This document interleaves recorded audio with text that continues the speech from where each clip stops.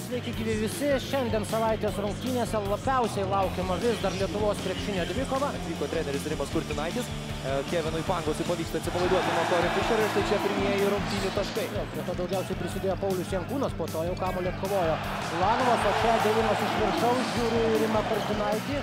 Pastaruoju metu tampantis vis ryškesniu Lietuvos ryto lyderiu, vis solidesnė jėga po Vilniaus komandos. Turėtų laimėti pirmąjį ketvirtį.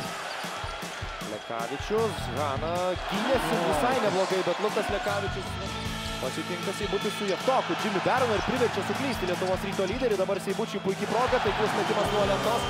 Ir Rimui Kurtinaičiui reikia minutės pertraukėlės. Kamolį išsaugo jį savo rankose. Keturios sekundės atakai per Aršūrą Gudaitį. Hana. Jomantas. Apsistumė pagal taisyklės nuo Broko Motovo, bet Augusto Rima užveda visą Žalgirio areną, blokas Artūrui Jomantui. Taip, 10 sekundžių atakai, Motumas ir Jankūnas dabar Žalgirio priekinė linija ir būtent abu aukštaugiai. Milaknis, laisvas krašte, puikus derinys ir Žalgiris šį sezoną būtent, tada taip. O dabar Radamas Lapeta neišvengiamai bus atakuojamas žaidimu 2 prieš 2. Ir vėl, ir vėl tas pats Jankūno užtvara, Lekavičius dar blogiau.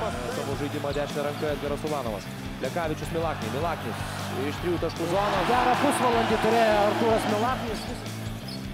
Lekavičius. Oi, oi, oi, oi, kaip Lukas Lekavičius vėl pasinaudoja. Dar apskritai reikėtų paieškoti, kada paskutinį kartą buvo toks skirtumas. Drew Gordonas pavėja Broką Motumą, blokuoja varžovo metimą Davidas Gailius. Kitoje aikštelės pusėje gerą gynybą verčia gerų puolimu.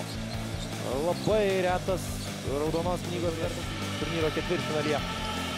Normantas Lapeta ir Adamas Lapeta.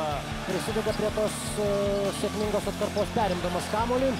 Ronaldas Seibutis, 3 taškai, čia žlugtelėjo. Išklydęs už kojos Robertas O, Jeftokas. Artūras Gudaitis. Žalgirio arenoje Kevinas Pangosas. Perdavimas pro nugarą Hartensteinui ir trys taškai.